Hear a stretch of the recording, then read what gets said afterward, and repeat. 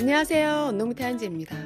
오늘은 어깨 처짐 혹은 드롭숄더 티셔츠 옆선에서 소매 연결 시 가위밥 없이도 이 겨드랑이 부분이 씹히지 않게끔 봉제하는 아주 간단한 방법 두 가지 과정으로 소개해 드리도록 하겠습니다. 드롭숄더 티셔츠 앞뒤판을 겉면끼리 포갠 상태에서 양쪽 어깨선을 박음질 오버록 먼저 해준 상태고요. 자, 이 상태에서 소매산을 먼저 달아주는데 자, 소매감을 마찬가지로 몸판과 겉면끼리 포개놓은 상태에서 이제 한쪽 옆선에 위치를 맞춰주시고 자, 어깨 중심과 소매 중심 서로 맞닿게 해서 시침핀 임시 고정 해주시고 양쪽 끝선 같은 경우에는 자, 몸판에 이렇게 소매가 만나는 위치 완성선 표시해 놓은 부분이 있을 거예요. 자, 이 부분에 소매를 1cm 바깥쪽으로 해야 나중에 1cm 시접으로 봉제를 했을 때 이 완성선이 딱 맞아 떨어지겠죠? 자, 이렇게 해주시고 위쪽도 마찬가지.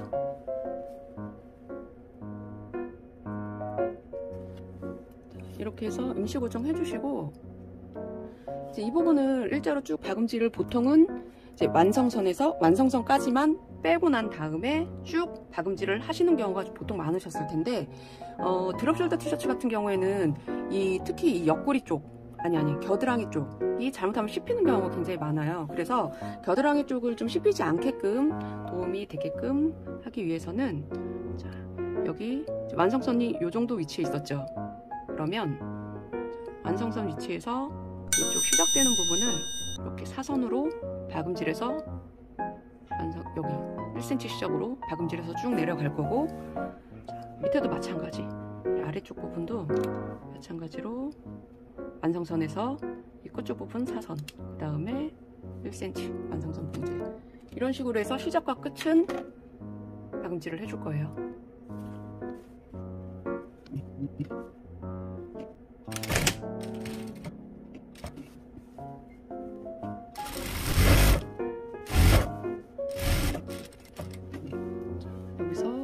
들고 원단 한쪽으로 돌려주고 난 후에 사선. 자, 이런 식으로 지금 위 아래 모두 사선으로 끝쪽을 1cm 완성선에서 아래쪽으로 1cm 사선으로 박음질 해줬어요. 오버록 해줄 때에는 바늘을 위로 올려놓은 상태에서 노루발 들고 이 정도 위치 지금 되는 부분에 바늘 선을 어느 정도 맞춰주세요. 자, 그리고 일단 시작. 그리고 끝나는 부분 같은 경우에는 자, 여기 보시면 여기가 사선으로 꺾여 있잖아요. 끝나는 부분은 그냥 한 0.5cm 정도 남기고 바늘을 빼주시면 돼요.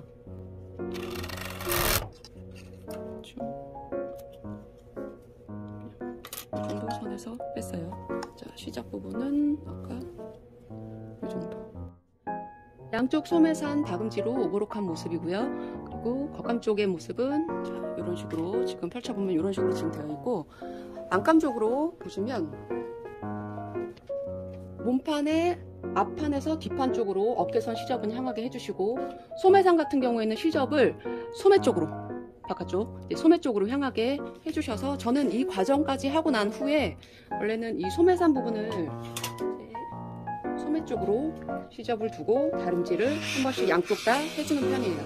자, 이렇게 해주고 난 다음에 자, 이렇게 안감 쪽에서 반 접어서 보시면 자, 양쪽 이제 옆선부터 소매까지 이제 박음질을 해줄 건데 밑단 스팀핀 임시 고정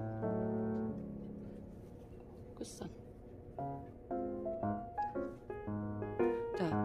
이 겨드랑이 쪽 같은 경우에는 휘접을 이 몸판 쪽에서 그러니까 옆구리선 옆선 쪽에서 소매 쪽으로 향하게 해서 이 안쪽에서 완성선 박음선을 맞춰주세요.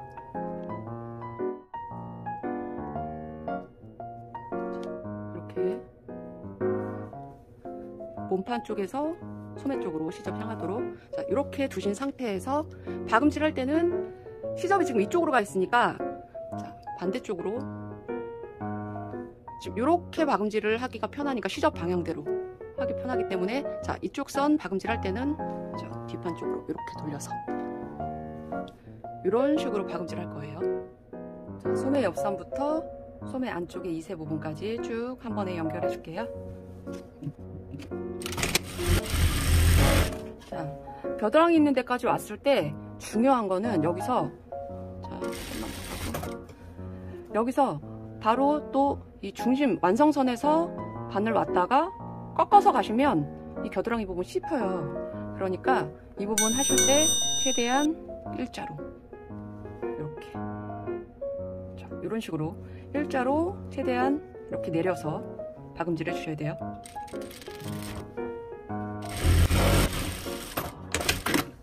오버록 할 때도 마찬가지로 일자로 겨드랑이 부분 맞죠? 그러면 일자로 이렇게 펴서 옆선부터 소매까지 한 번에 쭉 이어서 연결해주고 오버로까지 해주고 난 후에 이렇게 펼쳐보시면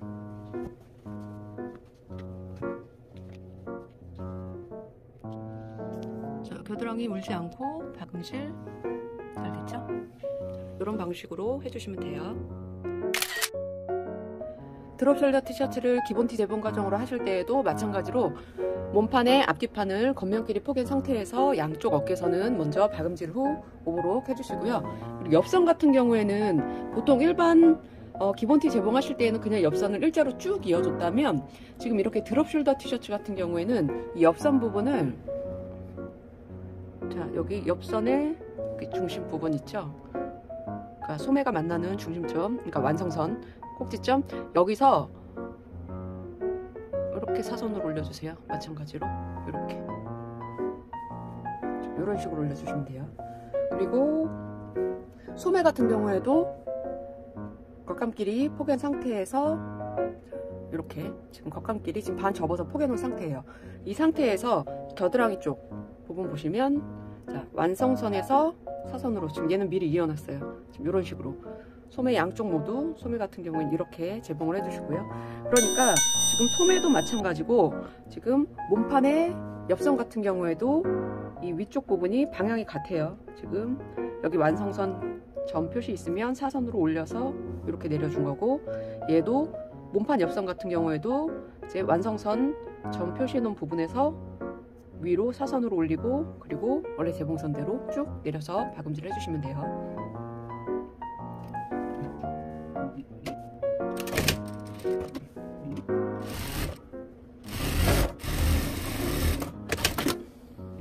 몸판의 양쪽 어깨와 옆선 그리고 양쪽 소매 안쪽 인심까지 박음질 후 오보록 모두 해놓은 상태고요.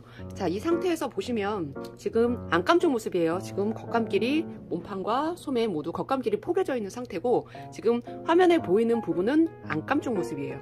자, 안쪽에서 보시면 자, 소매 쪽 잠깐 보여드리면 자, 옆선이 지금 이런 식으로 사선으로 돼 있죠. 그리고 소매 같은 경우에도 지금 이렇게 사선으로 돼 있어요. 그래서 나중에 이런 식으로 자연스럽게 이렇게 맞닿게 되게 되면서 이쪽에 씹히는 부분이 덜 생기게 하는 방식이에요. 자, 대충 요렇다고 알고만 계시면 될 것 같고요. 자, 이 상태에서 자, 이제 소매 부분만 겉감 쪽으로 뒤집어 주세요. 뒤집어 주시고 자, 자 몸판에 소매 암홀 부분에 이 뒤집어 놓은 소매감을 쏙 넣어서 위쪽 어깨선부터 먼저 소매 중심과 위쪽 어깨 쪽 중심과 그리고 몸판은 시접이 어깨 시접이 앞판에서 뒷판 쪽으로 향하도록 해서 임시 고정 해주시고 자 그리고 이 겨드랑이 부분 같은 경우에는 지금 일자로 박음질을 안 하고 지금 약간 사선으로 한 이유는 말씀드렸다시피 박음질 했을 때 이제 이 겨드랑이 부분이 씹히지 않게끔 하기 위해서 자연스럽게 이어지게끔 하기 위해서 지금 이렇게 봉제를 한 건데 이렇게 봉제를 했을 때더 좋은 게 뭐냐면 일반적으로 보통 일, 그냥 여기 완성선까지만 지금 몸판에 위쪽까지만 박음질을 했다 치면 여기 요 사선 부분이 떠 있는 상태일 거 아니에요. 터져 있는 상태. 요 터져 있는 상태에서 소매감을 이렇게 넣어서 박음질 할 때는 박음질 하실 때 요 부분 정말 딱 맞게 하지 않거나 딱 맞게 하지 않거나 조금 덜 박음질을 내면 만약에 덜 박음질이 됐을 경우에는 여기 살짝 구멍이 뚫려 있을 상태, 상태일 거고요. 근데 너무 딱 맞지 않고 약간 더 안쪽으로 되거나 하면은 분명히 씹힐 거예요. 그렇기 때문에 사선으로 박음질을 해주면서 박음질 후에 이제 구멍도 안 생기고 그리고 씹히지도 않게끔 해주는 역할을 해주는 게 바로 이 사선으로 지금 봉제한 요 한 끗 차이가 있어요. 그래서 몸판도 앞판에서 뒷판 쪽으로 향하게 해주시고 소매도 같은 방향으로 위치하게끔 해서 그러면 살짝 한쪽으로 틀어지는 모양이 되기는 하겠죠? 하지만 박음질하고 나면은 어차피 완성선 부분만 서로 나중에는 보여지는 거기 때문에 이쪽이 틀어져 이쪽이 살짝 이쪽으로 치우쳐 있어도 봉제 후에는 전혀 상관이 없어요. 여긴 그냥 시접 부분이니까 신경 쓰지 마시고 자, 이 상태로 해서 이 아몰 부분 쭉 동그랗게 봉제해 줄게요. 반대쪽도 마찬가지.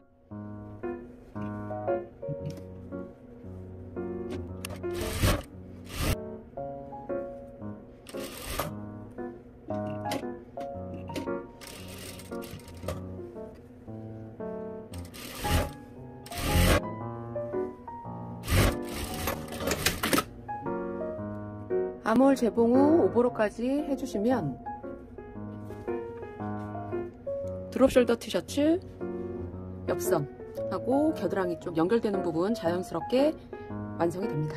자 이렇게 해서 과정 참고하셔서 첫 번째 방법이든 두 번째 방법이든 편하신 과정으로 드롭숄더 티셔츠 만드실 때 겨드랑이 씹히는 스트레스 없이 재봉하시기 바랍니다. 수고하셨습니다.